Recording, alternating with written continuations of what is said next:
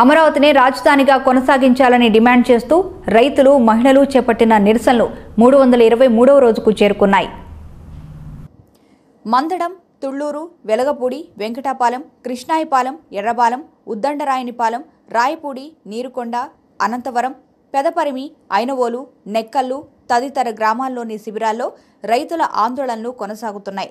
రాజధానిగా అమరావతి కొనసాగుతుందని ప్రభుత్వం చెప్పే వరకు ఆందోళనలు కొనసాగిస్తామని రైతులు స్పష్టం చేశారు.